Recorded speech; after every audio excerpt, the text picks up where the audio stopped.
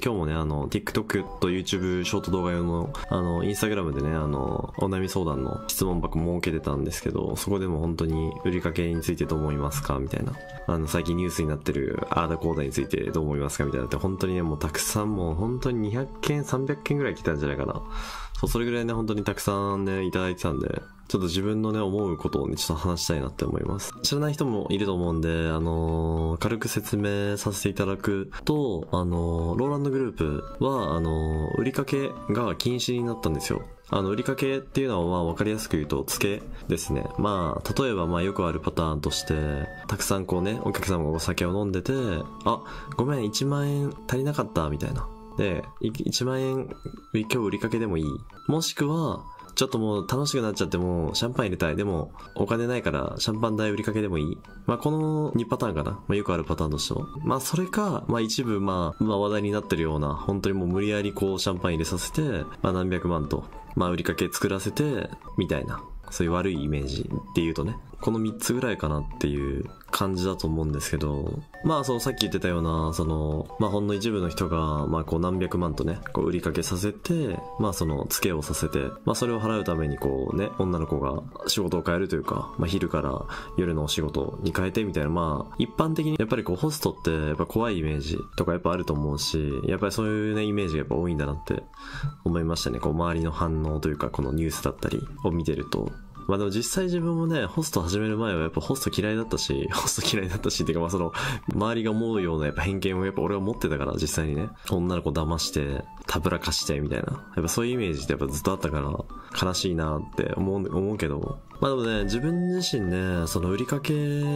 ていうのが本当に嫌いだったから、全くしてこなかったんですけど、まあ、ゼロだったかって言われると、まあそれはゼロではないんだけど、まあ結論から言うと、その売りかけ禁止っていうのは賛成かな？でも、その売りかけを禁止にしたことで、業界が大きく変わるかって言われると、俺はそうじゃないかなって思うんだよね。で、これがなんでかっていうと、売りかけを禁止にしたところで、抜け道みたいなのが、やっぱ割とあるのかなっていうのと、まあ、やりようがあるっていうことと、また別のやり方が増えるのかなっていうのが、売りかけを禁止その歌舞伎町から、まあ、例えば、今、今はまあ、ローランドグループが売りかけ禁止になったっていう話なんですけど、まあ、これから、じゃあ歌舞伎町全体が、そのホスト全体が売りかけ禁止になった時に、まあ、また別のやり方が増えるのかなっていう印象かな。でもね、見せしめにこう、なんだろうね、グレーなことしてるお店をこう摘発発したり、ホストさんとか代表を逮捕したりするっていうのは、あの、すごくいいなって思う。てかね、そもそもね、そう、よく最近さ、ニュースでホストがこう、捕まりましたみたいな、〇〇のお店のこう代表オーナーがこう、捕まりましたっていうニュースをよく見るようになったんだけど、で、それでさ、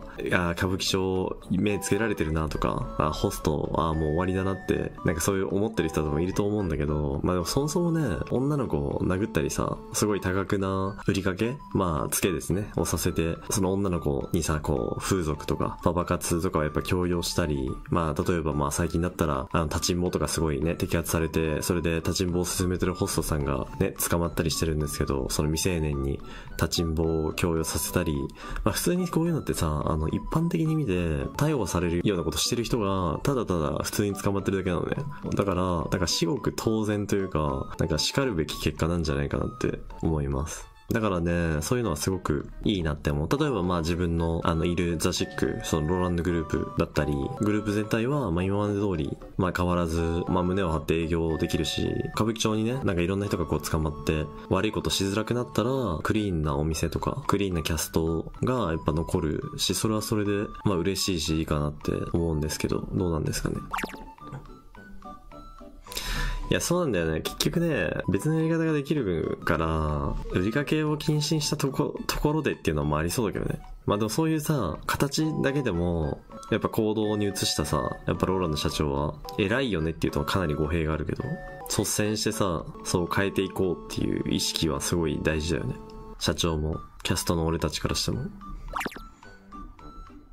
あ、そう、あのね、今コメント欄にも書いてるんだけど、そう、売りかけってね、あの、正直ね、ホストもね、あ、これは多額のさ、売りかけを肯定してる？とか、その、かばうとかでは全くないんだけれど、そのね、今コメントに書いてるような、その、売りかけ1000万飛ばれたホストも知ってるっていう話なんだけど、その、売りかけするのってさ、ホスト側もね、リスクあるのよ。例えばじゃあ1000万円をじゃあ売りかけしたとしよう。そしたらさ、その女の子が、まあもうお仕事したくないとかさ、いいやってなってさ、じゃあ飛びます払いませんってなった時に、その1000万っていうのはまあホストさんが自腹で払わなきゃいけないのよ。まあこれは絶対なんだけど、だから給料がマイナス1000万になるわけ。でそういうリスクを、まあ抱えてるわけなんだよね。だから、そのホストにとっても、お客様にとっても、売りかけ禁止っていうのはまあ形だけだったとしても、まあ形だけというか、売りかけ禁止っていうのは確かにすごくいいなって思う。売りかけってホストみんなどれぐらい抱えてるんですかってこれいい質問だね。えっとね、俺はね、ほとんどね、ゼロの場合が多いかな。なんか大体、あの、売上表っていうのがあって、あの、ホストはキャストの売上とか、例えば新規指名が何人とか、指名組数が何人とか、顧客数が何人とか、売りかけが何円で、普通の売上が何円っていう、あの、売上表みたいなのが見えるんですけど、俺は毎月ほぼほぼゼロかな。でもやっぱ売りかけをしているホストさんもいるんですけど、ローランドグループつか、まあ俺がいるのはザシックだから、他の店舗わかんないけど、ザシックはね、もう死ぬほど売りかけしてる人とかまあいないね。うん。これは俺が結構な頻度で売り上げ表をチェックしてるし、自分のも見るし、もちろんみんなのも見るからわかるんだけど、例えば、一撃500万ドカン500万全部売りかけみたいなのはマジで見たことないね。だからやっぱりこう、まあ、ローランド社長がさ、よく、まあみんなに声かけたり、やっぱミーティングとかよくしてるから、やっぱそういう変なことする人はやっぱうちにはいないのかなっていう印象がありますね。まあだからこそこんなにね、たくさんのお客様が来てくれて、まあローランドさんのところだったら安心だなって思ってね、みんな遊びに来てくれてる人もたくさんいらっしゃるでしょうし、すごいいいことだなって思いますね。売りかけを規制する法律はないから今上限設けてるかみたいな議論、あ、そうだね。まだそういう法的なあれはないよね。いや、そうだよ。売りかけは普通にね、リスク、リスキーだよ。だから俺嫌いなんだよ。さっきも言ったんだけど。だから俺は売りかけはしない。例えば、えー、もう今日楽しくなっちゃったからもうエンジェル入れたいみたいな。全然そういうことって言われることってあるんですけど、まあエンジェルだったらまあ100万前後ぐらいかな。でも売りかけでもいいかな。みたいなこと言われたら、まあ普通の子だったらさ、え？エンジェル？みたいな。そう。この人よく来てくれてるし、売りかけでもいいやって思うかもしんないけど、俺は、あ、じゃあ普通にね、次、また遊びに来てくれて、ちゃんとね、支払える時に、また楽しいと思ってもらくれた時に、じゃあそれは入れようみたいな感じになるから、売りかけは、まあ、ほぼほぼないかな。マジでたまに、本当にたまにね、なんかこう、数千円足りなかった、1万円足りなかった、で、カード使えない、みたいな時に、本当にたまにするぐらい。で、基本的にはね、コンビニとかでさ、近くで降ろせるっていう状況だったら、そのキャストさん、まあ掃除組の子とかが付き添いで行って、そのお金を下ろしてくるみたいなのがあるんで、まあ、かけは、売りかけはね、ほとんどないんだよね。それでキャッシュカードもないみたいな、もう、何もないです。もう下ろせないですってなった時は、賭けしたこととかあるんですけど、まあまあ昔の話だけどね。前の話なんですけど、まあほぼほぼないかな売りかけっていうのは借金ですよね。まあそうだね。例えば、女の子ってさ、ホストクラブ知らない人に100万円売りかけしましたってなった時に、え、そんなん飛べばいいじゃんみたいな、もう払わなきゃいいじゃんと思うかもしれないけど、お店によっては、その売りかけをするときに、例えばまあ免許証のコピー、保険証のコピーだったり、実家の住所だったりとか、電話番号だったり、みたいなそういうのコピーとか、なんかその借用書みたいなのを書くんで、飛びづらいというか、そう飛んだ時の、まあ怖いじゃん、普通に。タクの娘さんがホストクラブに通ってて、みたいな。100万円付けしてたんですけど、まだ払ってないんですよね、みたいなことをさ、ご両親とかに言われたら、まあ普通に怖いじゃん。みたいな感じで、まあ飛べないみたいな。そういう借金ループみたいなのに陥ってる人が、まあ今話題、話題になってるというか、まあそういうので、まあ抜け出せない人が、さっき言ったような風俗だったり、まあパパ活だったりをこう強要されて、その強要した人もホストさんも捕まってるみたいな。まあ、そういうニュースが多いわけなんですよ、最近は。立ちんぼってみんなホス狂いなのって、いや、それはね、わかんないな周りにいないんだよな。周りにいないというか、まあ、やってても言わない人がいるかもしれないけど、どうなんだろうね。まあでも聞いたことあるのは、立ちんぼする人は例えば風俗とかで働いてるけど、性病になっちゃった人が、その働けない。まあその、そういうお店で働くにはやっぱこう、検査みたいなのがあるから、そう、それで、こう性病になっちゃって働けない人が立ちんぼするみたいなのを聞いたことあります。それ以外は知らない。ホスト側ってある程度姫の職業を指してるものですか？風俗とか立ちんぼパパ活とか見分けつくて全然見分けつかないよ。職業の話とか全くしないね。例えば昔よりやってて、今はやってないっていう人もいるだろうし、そういうの全くわかんないかな。まあでもそういう話をいろんなところで聞いた時に、やっぱり俺が思うことって、いろんなことを考えた上で、やっぱり、まあローランドグループといえばまあ投げ銭っていうイメージが、まあ他のホストさんとかあると思うんですけど、やっぱ投げ銭っていうシステムはやっぱすごいいいなって思う。で、これがなんでかっていうと、例えばじゃあ今月の売上の目標がじゃあ1000万円だったでしょ。で、1000万円だったとして、投げ銭が500万円集まった時と、じゃあそうじゃなかった場合のことを考えた時に、まあ投げ銭が500万円集集まった前者の方だとすれば、それはもう店の売り上げが500万でいいわけだから、お客様に予算以上の無理をさせることも、まあさっき言ってたみたいな無理な売りかけをさせる、その無理な付けをさせる必要もないわけですよ。ただ、後者の、じゃあ投げ銭が0円で、じゃあお店だけで1000万円売り上げなきゃいけない。って時は、まあ全然目標まで足りないってなったらね、やっぱりこう、お客様にね、予算以上の無理をさせることとか売りかけ、付けをさせて、頑張ってね、その目標の1000万まで売るっていう、目指すってことになるわけなんですよ。で、やっぱローランドグループでそういう悪い話とか、例えばその今ニュースになってるみたいなことがないのは、やっぱみんながこう、投げ銭してくれて、まあもちろんこれは投げ銭してくれる人とかね、応援してくれてる人がいないと成り立たないことなんで、本当にもう感謝以上の何者ではないんですけど、だから本当にこう、なんて言うんだろうね。新宿の歌舞伎町っていう狭いエリアだけじゃなくて、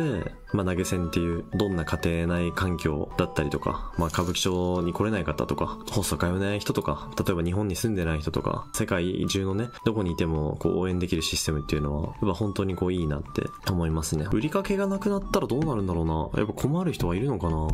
でもあんま変わんなさそうだけどね。正直。売りかけがなくなっても。そう、さっきね、コメント欄で個人間のやりとりがあったら意味なくないですかっていうコメントがあったんですけど、確かにそうで、まあ、例えばお店でじゃあ売りかけをします。で、借用書を書かす、書かせますっていうのを個人間のやりとりにしちゃったら全く同じなんだよね。だから俺がさっき言ったみたいに、売りかけっていう制度を、じゃあ歌舞伎町とかホスト業界から、じゃあ法律で禁止にしたとしても、ホストっていうのはあの、建て替えっていうね、例えばじゃあ自分でお金を出して、そのお客様の売りかけを立てかけ、立て替える。だから、じゃあ、100万円のシャンパン入れますってなった時に、女の子は持ってません。じゃあ、俺が立て替えとくねって言って自腹で100万円を立て替えます。で、これをまあ売りかけっていう形でお客様にこう借用書を書かせて、形上賭けみたいなもんだよね、付けみたいな。っていうのが、まあ本当に歌舞伎町からじゃあ売りかけをなくしましたってなった時に、まあ一番起こりうるパターンなのかなって思う。だからね、結局ね、